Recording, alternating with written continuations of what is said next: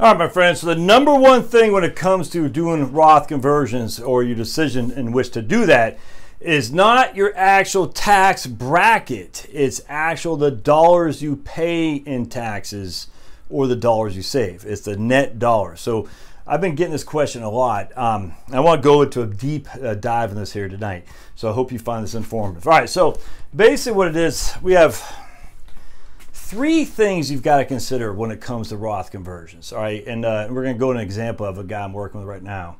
Um, the first is if you're married filing jointly. All right, so if you're MFJ, all right, that means you are going to be exposed to the widow's tax trap uh, at the death of the first to go. So Josh and Charlotte, I'm a man, I'm four years older, I die first, and Charlotte will receive my IRA and as such, she'll she'll have all the same income except a little bit less of Social Security, uh, but she'll have one less tax um, standard deduction. So our standard deduction will go from twenty-seven thousand to thirteen thousand six hundred, whatever it is at that point, and her tax brackets go up. And so what I mean by that, for a married filing jointly, you you have basically one hundred and ten thousand dollars of AGI, and you're still in the twelve percent tax bracket right? Because that's roughly eighty thousand dollars of taxable income uh, for you to be in the, uh, the, uh, the, to stay in the twelve percent tax bracket. If you're single, you basically have uh, uh, let's see about eh, fifty-five thousand of AGI to be in the twelve percent tax bracket. All right, so what happens now is you lose a standard deduction going from married filing jointly to single. All right, so you have Charlotte and me with 27,000 of uh, standard deductions. If it's just her, she loses basically half that, so she'll only have 13,300 or whatever it is, or 13,600. On top of that, any income above 55,000 here is subject to 22% taxes. All right, so we have 60,000 of taxable income. She's at the 24, uh, 22% tax bracket. Now the entirety won't be subject to 22%, but she is now in a 22% tax bracket with any amount of taxable income roughly above 55,000. However, when it's both she and I, all right, we can have you know, we can have $110,000 basically, uh, you know, before we're the 20, the 22% tax bracket. Not basically, literally. So in this case, that is the widow's tax trap. You lose one standard deduction, and on top of that, your tax brackets go way down, way down. They're shrunken tax brackets, which means more of your income will be subject to uh, to higher income tax rates. I hope that makes sense. A lot of people think, well, Josh, uh, when she, when you die, she'll you, she will only have 50% of the taxable income. No, that's not true. What only thing she's going to lose when I die is the lower of the two Social Security benefits. That's it. She'll inherit my IRA. She'll have all the same income she had before. She'll lose a smaller of the Social Security benefits. So she might lose ten to fifteen thousand dollars of income, but it'll still be well above 60,000, so uh, 55,000, so she'll still be well into the 22, if not 24% tax bracket as a single person, which means less income, but more taxes due because she is single. That's the widow's tax trap. All right, part two. Do you have a pension? All right. Uh, if you have a pension, you're it's going to be tough to make the case for Roth conversions. And the reason for that is if you don't have a pension, you're more likely to be subject to the tax torpedo when it comes to Social Security benefits.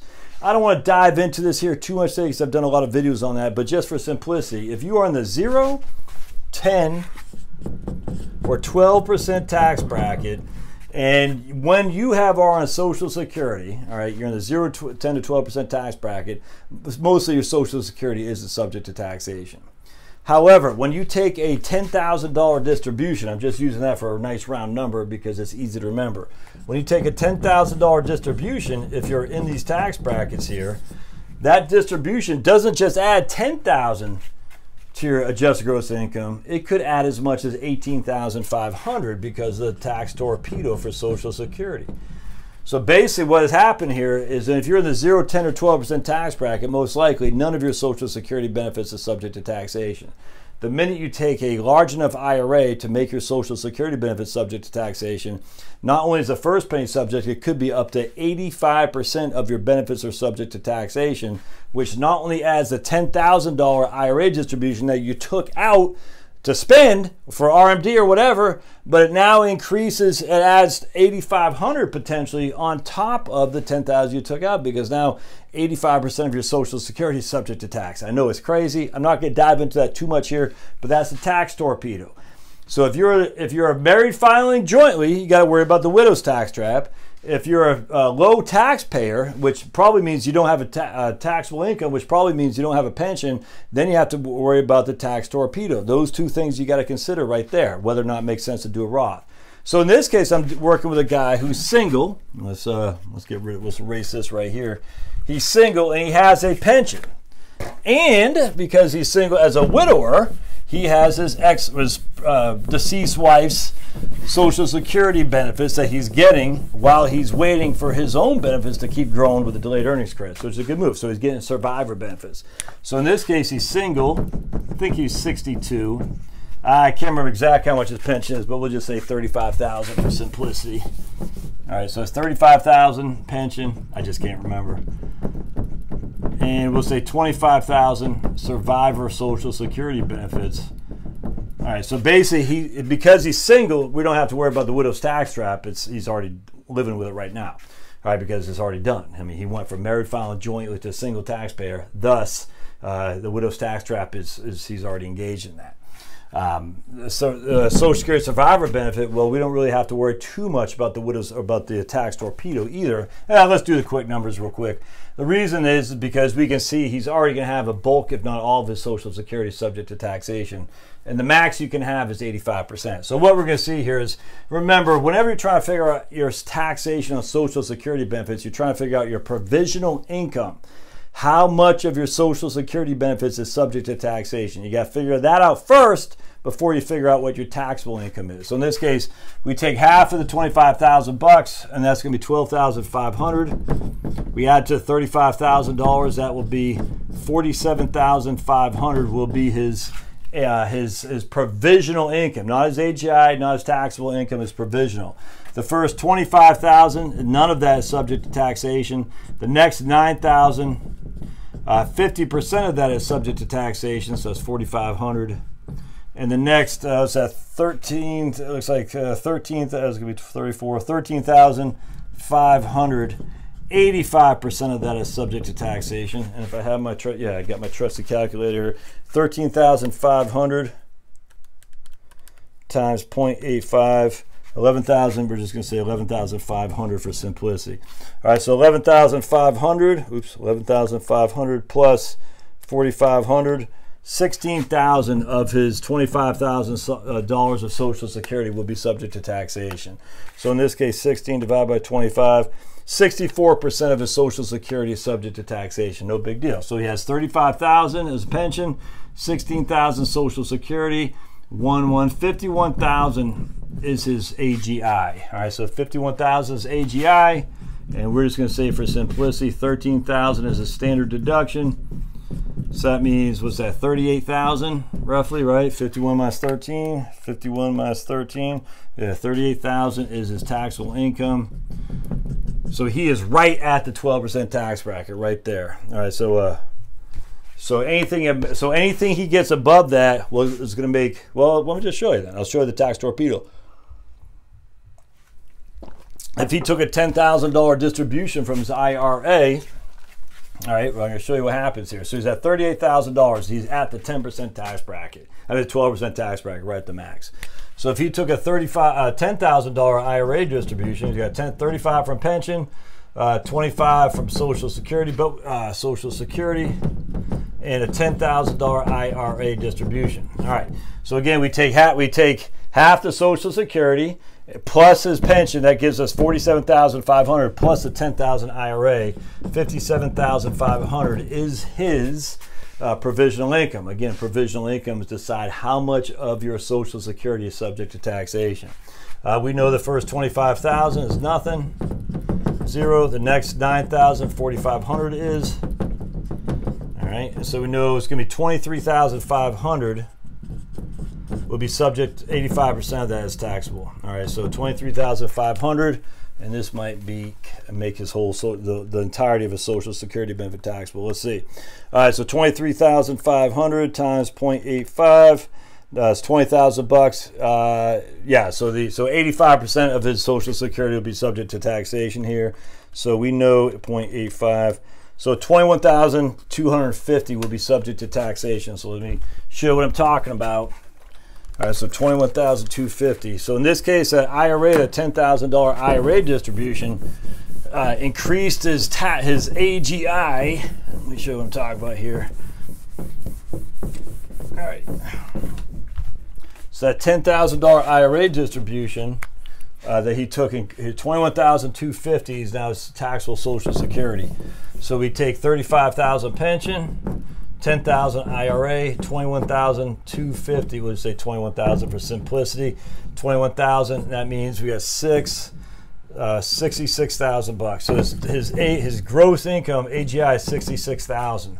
So basically, what happened was is that yeah, he increased his taxable income, his AGI, excuse me, uh, by from fifty-one thousand to sixty-six thousand. So he increased his uh, adjusted gross income by fifty percent. So it went up by fifteen thousand, even though he only took a ten thousand dollar IRA distribution. I cannot stress this enough. Here was his AGI with no IRA distribution, fifty-one thousand. Here is his AGI now with a $10,000 IRA distribution. Do you see the difference? AGI with no IRA distribution, AGI with a $10,000 distribution. 66 minus 51 is $15,000. He increased his AGI by 15,000 even though even though he only had what a $10,000 IRA distribution. And that's the evil of the tax code. But be as it may, the question still remains should we do Roth conversions? Well, that's the problem we have with this guy here. He is already in the tax trap,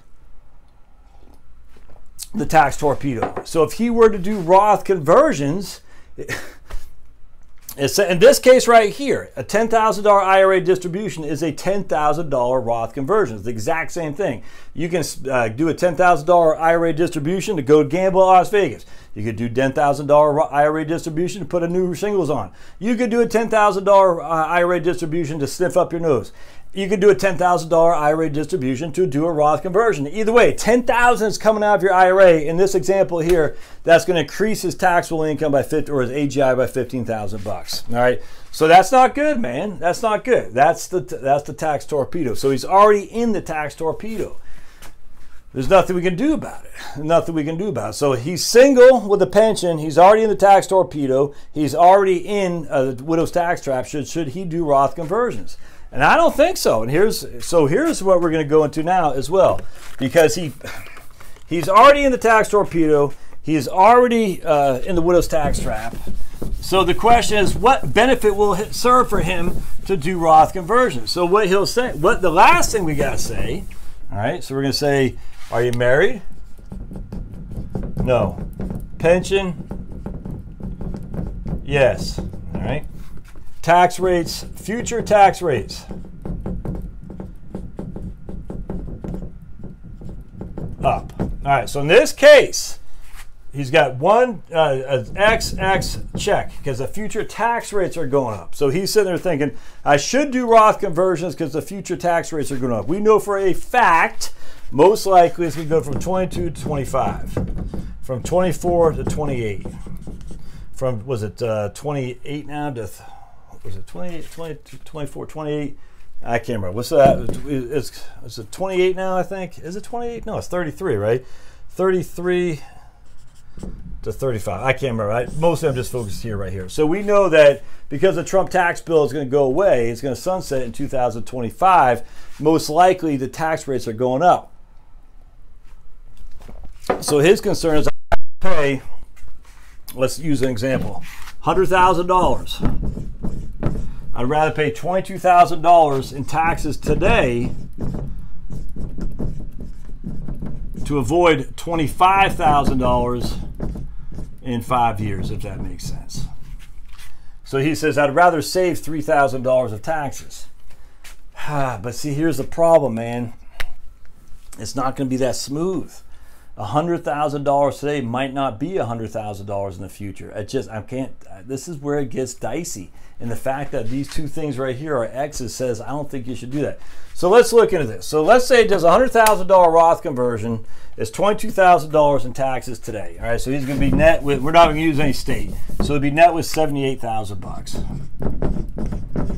All right, so let's just say, I don't know, we're going to say it grows at a clip of, uh, we'll, we'll, double it. We'll just use that for example. 7.2% a year for 10 years. This will grow to $78,000. Uh, it'd be what, 156,000?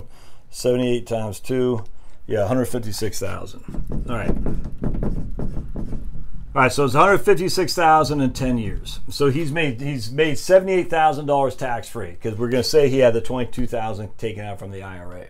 It's worth 156,000 in in, uh, in 10 years. That looks like a pretty good deal, right? Well, the problem is, what if we just put 100,000 left that there, $100,000, and it grew to 7.2% a year as well. Now we're at 20, 200,000 all right, but now he's got to pay tax on that 200,000 at 25%.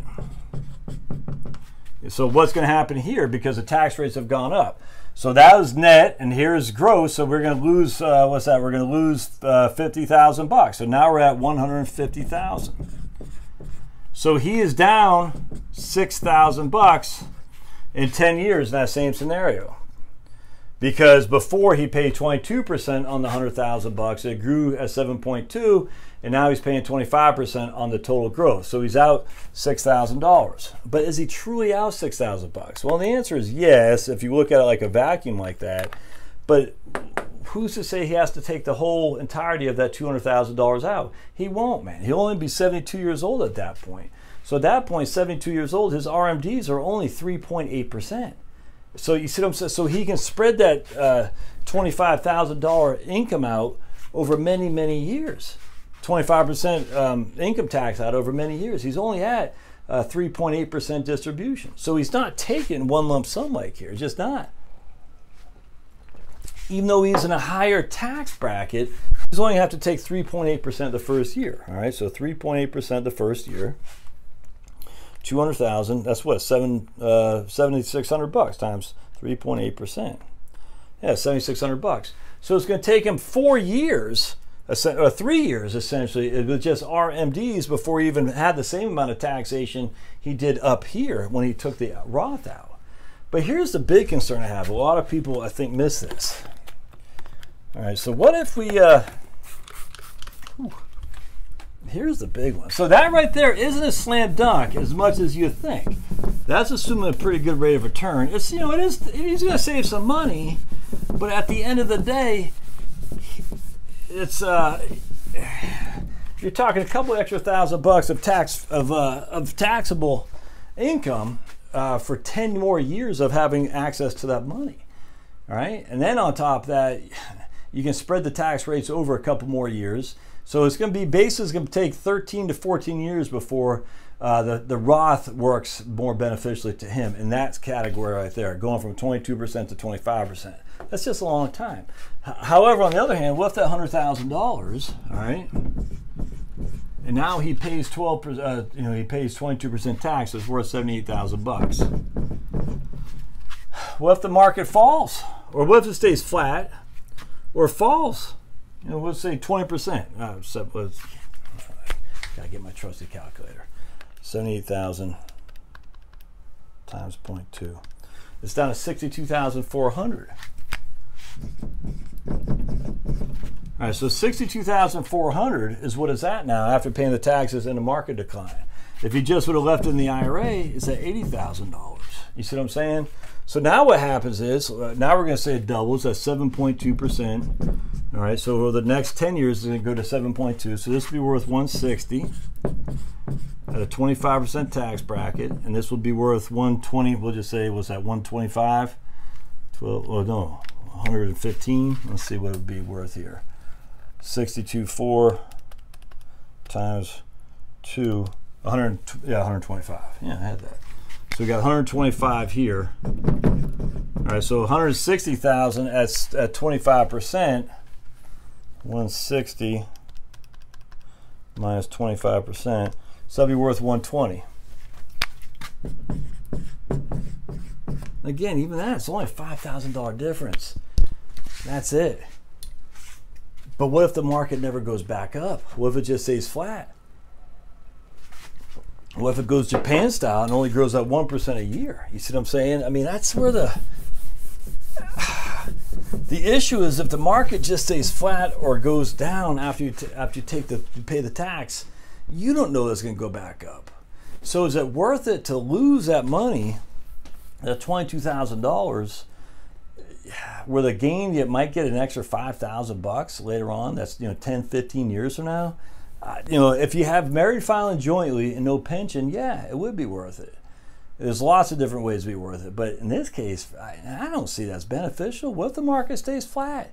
And you're out to, i mean let's just do that for example. So now the market stays flat all right? So you do $100000 in a roth you're paying 22000 in taxes now you got 78,000 bucks, and we'll just say the market's flat. All right, just all right. Now you got 100,000 bucks in the traditional IRA. We're assuming you invest the same way. Is what I'm trying to say.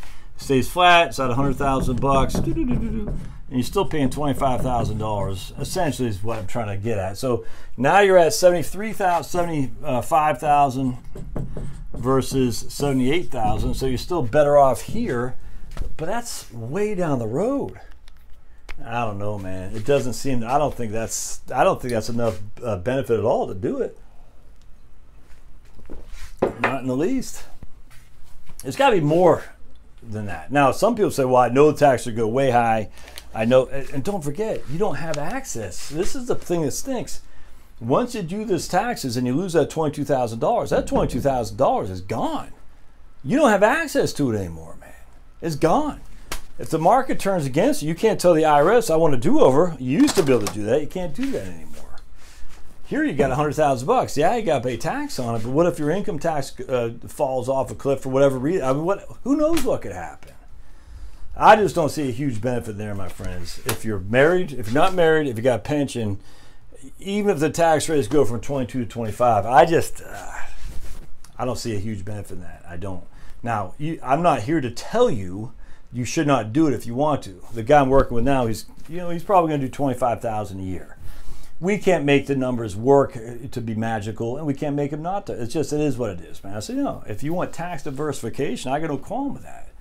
But we're not going to solve any huge tax problems by doing Roth conversions for the guy in that category. We're just or related in that category. We're just not. All you're going to do is ultimately, for every hundred thousand dollars, you're potentially going to pay three to five thousand dollars less in taxes, ten to fifteen years from now you know, that might be a big deal. And that doesn't seem like a huge deal to me to be without $22,000 on the front end and hoping that I'm going to recapture that 10 to 15 years from now. Hope that makes sense. Remember, a bird in the hand is always better than two in the bush. When I spend 22,000 today on taxes, I'm doing it under the auspices I will recoup that and make some money in the future. I'm losing 22,000 now and the hope to gain 3 to 5,000 10 to 15 years now. That just does not seem like a good investment to me at all. Yeah, I hope this makes sense. Would love to hear comments. Thanks now.